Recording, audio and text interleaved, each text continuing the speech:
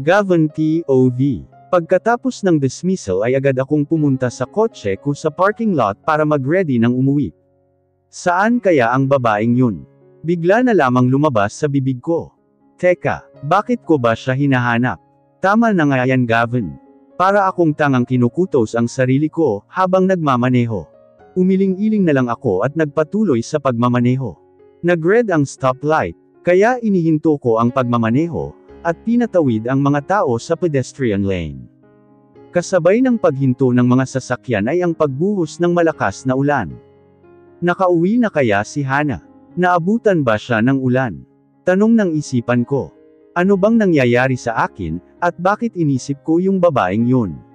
Sigaw ko. Hindi ko na malaya na nag-green na pala ang stoplight at binubusinahan na ako ng sasakyang nasa likod ko. Umayos ako ng posisyon at nag-drive na. Pagkarating ko sa lobby, ay agad nagbaw ang mga guard sa akin maging ang kahit sinong empleyadong madaanan ko. Nag-cold expression lang ako at nagpatuloy lang sa direksyon ng elevator. Pagkapasok ko ng elevator, ay saktong walang sakay kundi ako lang, kaya agad akong nakaabot sa unit ko. Pagkarating ko sa tapat ng pinto, ay ipinihit ko ang doorknob, at ayaw nitong mabuksan. Wala pa ba si Hana? 6pm na ah. Hindi naman niya ugaling umuwi ng ganitong oras, kasi alas 5.30 pa lang nakauwi na siya ah. Nasabi ko na lamang at inilabas ang susi ko at sinusian ang pinto. Ipinihit ko ang doorknob at pumasok sa loob. Inihagis ko sa sofa ang bag ko, at pumasok sa kwarto namin ni Hana, saka dumiretso sa closet para mamili ng pamalit na damit, at nagbihis ako sa dressing area na nasa loob din ng shower room. Pagkatapos kong magbihis ay dumiretso ako sa kusina, at naghanda ng soup. Sakto umuulan, makakain ko ito at ni Hana kapag dumating na siya. Oy, baka akala nyo dahil concern ako sa kanya o ano ha. Sa katunayan, trip ko lang na magluto. Sadyang sinisipag lang talaga ako ngayon. Akala nyo ba hindi ako marunong magluto? Aba, mali kayo. Actually, hobby ko nga ang pagluluto eh. Yun nga lang nakakatamad minsan. Tsaka hindi ko naman kailangan na magluto eh, nandun naman si Manang Tossing sa bahay na nagluluto ng mga paborito ko eh. At saka ngayong kasal na kami ni Hana, eh siya naman ang nagluto. Hindi naman siya nagpapatulong, kaya ayos lang na wala akong ginagawa, di ba? Gin Asto naman niya yun eh. Pagkaluto ko ng soup ay inilagay ko ito sa dalawang bowl sa mesa, at matapos nun ay nilinis ko ang pinaglutoan ko. Naisipan kong silipin sa kwarto kung nandun na si Hana, pero chinek ko na sa buong kwarto ay wala pa siya. Tumingin ako ng oras sa wristwatch ko, at nagulat ako ng 8pm na. Bakit wala pa siya? E kanina pang alas 5.30 ang dismissal, saan naman kaya nagsusuot yun? Umupo ako sa sofa at nag-cross arms doon. Naiinis kasi ako kapag may babaeng umuuwi ng ganitong oras kagaya ni Kaya, at lagi din akong nagagalit kapag ganun ang ginagawa niya. Nakakainis naman din tang si Hana. Kita ng babae siya e ganitong oras pa siyang umuwi. Lalo na umuulan, madulas pa naman ang kalsada. Una, dala niya ang apelyido ko. Mamaya may makakita sa kanya na isa sa umatend na business personalities, na umatend ng kasal, sabihin na walang disiplina yung asawa ko. Pangalawa, naglalakad lang siya. Baka mamaya may mang hold up o mang bastos sa kanya, yari na naman ako kay ate. Kasi pinabayaan ko siya. Tumayo ako at sumandal sa pinto ng kwarto, habang naka-cross arms at walang emosyon na nakatitig sa pinto. Ilang sandali pa ay gumalaw ang doorknob, at ilang segundo pa ang lumipas ay pumasok si Hana ng unit na basang-basa. Teka naligo ba ta sa ulan? Pagkapasok niya ay bahagya pa siyang nagulat nang makita niya akong nakatayo, at naka-cross arms. Anong oras na? Walang emosyon na tanong niya. May relo ka naman ah, bakit tinatanong mo sa akin ang oras? Pamimilosopo niya. Uwi ba yan ng babaeng may asawa?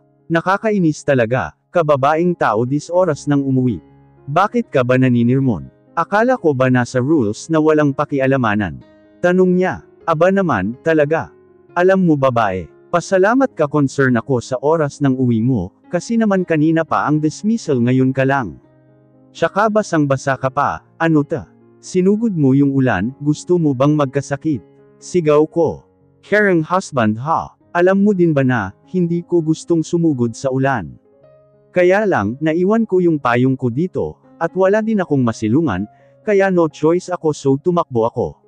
Tsaka e ano naman sayo, kung ganitong oras ako umuwi. Asawa lang kita hindi kita nanay, kaya wala kang karapatan para sermonan ako, kasi hindi kita pinapakialamanan sa mga ginagawa mo, okay. Sabi niya at lalampasan sana niya ako, pero bigla siyang nawala ng malay. Hana, sigaw ko. Bumagsak siya sa sahig at dali-dali ko naman siyang pinuntahan, at sinalat yung noo niya. Ang taas ng lagnat mo. Sigaw ko na lamang dahil sa pagkataranta ko. Napansin kong nilalamig siya, kaya binuhat ko siya at inihiga sa kama. Paano ta? Nilalamig siya, tapos basang-basa siya. Alangan namang habadan ko siya diba? Baka mabugbog ako nang wala sa oras nito. Tumakbo ako sa kusina at kumuha ng maligamgam na tubig at asin.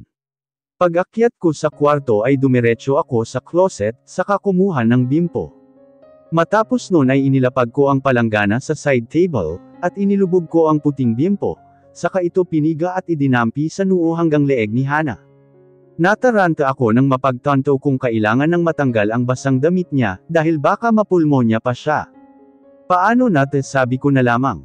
Nakaisip ako agad ng paraan, at tinawagan ko si Manang Tasing, at agad-agad naman siyang dumating para bihisan si Hana, kaya lumabas muna ako at inihanda ko naman yung soup na ginawa ko kanina, at kumuha na din ng gamot. Agad naman akong tinawag ni Manang, kaya agad akong pumasok sa kwarto, at nadatnan kong mahimbing siyang natutulog.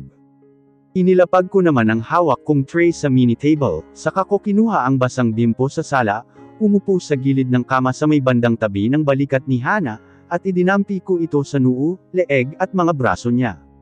Mauna na ako nak, ikaw na ang bahala sa asawa mo ha. Tawagan mo lang ako kapag kailangan mo ako ha. Sabi ni Manang at tinapik ang balikat ko. Sige po Manang, salamat po ulit, sabi ko. Walang anuman anak sabi ni Manang tossing, at tuluyan ng umalis ng unit ko. Ilang sandali pa ay unti-unting iminulat ni Hana ang mga mata niya. Anong nararamdaman mo? May masakit ba sa'yo? Tanong ko. Medyo nahihilo lang ako, sagot niya. Napadako ang tingin niya sa may damit niya, saka humarap sa akin. Si Manang Tossing, ang nagbihis sa'yo. Tsaka wala akong interes na tingnan yang harap mo.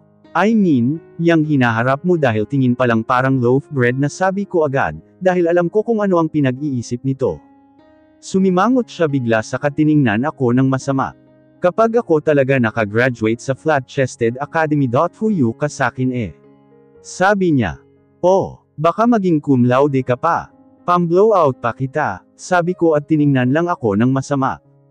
Kinuha ko ang isang bowl ng soup pati kutsara, at inilapit ito sa kanya.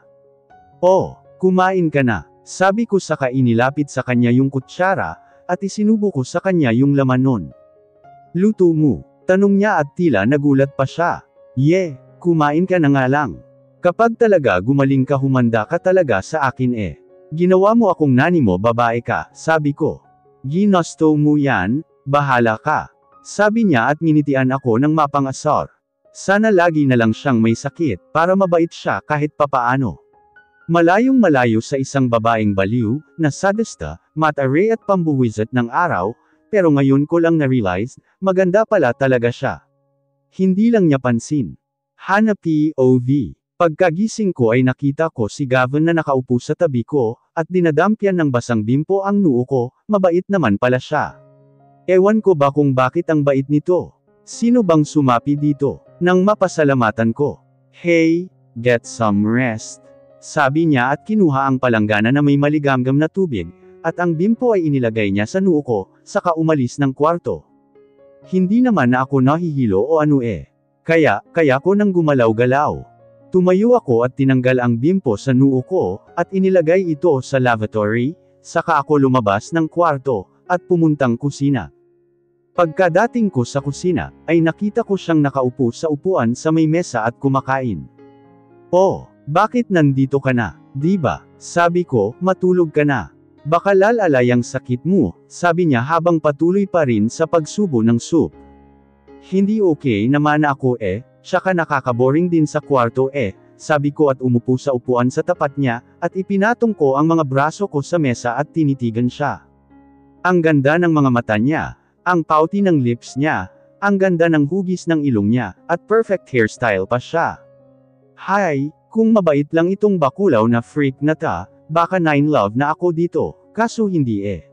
Sobrang sama ng ugali. Heist. Ilang minuto ang lumipas, at siya ay natapos ng kumain, kaya tumayo siya at niligpit ang kanyang mga pinagkainan sa lababo. Pagkatapos nun ay umupo ulit siya sa upuan, at humarap sa akin. Okay ka na ba talaga? Tanong niya. Ang kulit mo no. Natatawang sabi ko. Tutal, okay ka na. Samahan mo ako, mag-grocery tayo, sabi niya. E gabi na ah, may bukas pa bang grocery store? Tanong ko. Oo naman, sa tingin mo ba ang Fate Supermarket sarado na? Sagot niya. Oo, pati grocery pag-aari nyo. Kayo na talaga, may nanalo na, uwian na. Sabi ko. Tara na nga, iritang yaya at tumayo sa kanaglakad palabas. Kaya tumayo ako at sumunod sa kanya sa parking lot. Pagkarating namin sa parking lot, ay agad siyang dumiretso sa kotse niya.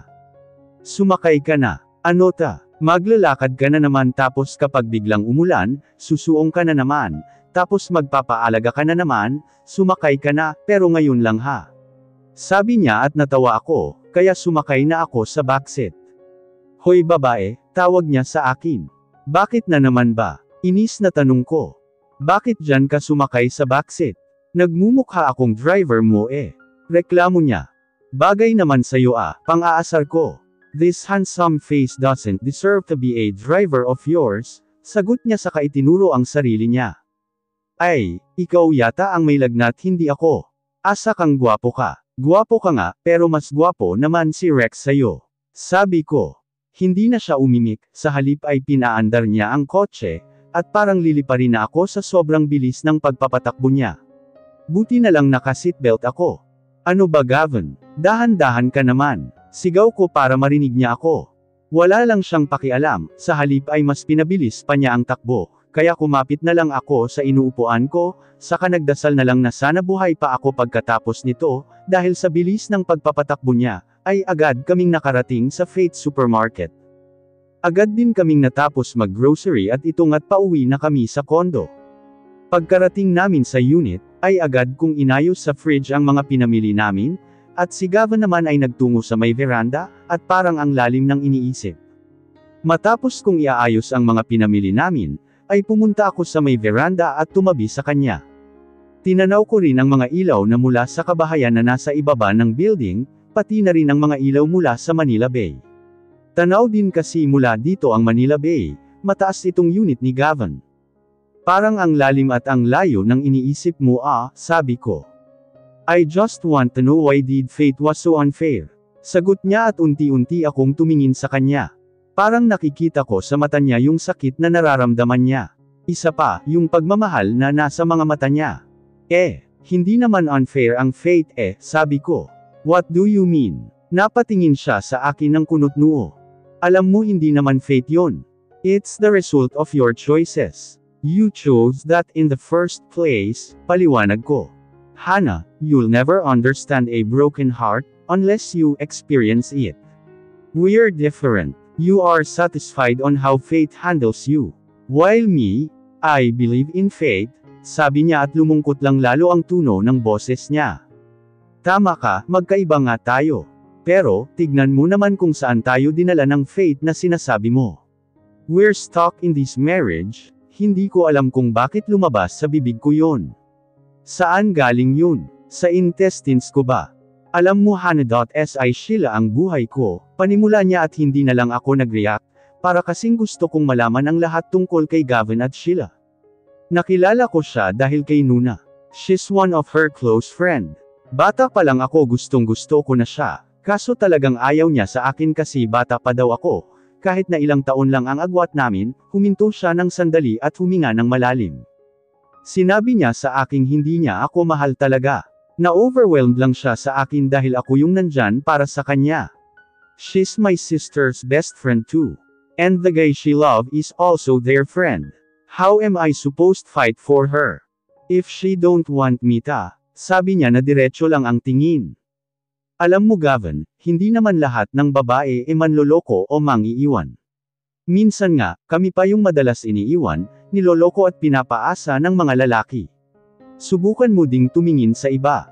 Maghanap ng ibang karapat-dapat para sa pagmamahal mo, sabi ko sa kanya, pero wala pa rin siyang reaksyon. Pero Gavin, paano kung bumalik si Sheila at sabihing mahal ka pa niya? Babalikan mo ba siya? Tanong ko. Oo naman, mahal ko eh. At siya ang only one great love, true love at first love ko. Sa pagkakataong yun, hinding-hindi ko na siya papakawalan, sagot niya at diretsyo pa rin ang tingin. Grabe pala magmahal ang isang Gavin Delovier. Sana may magmahal din sa akin ng ganun sa pagmamahal ni Gavin o higit pa.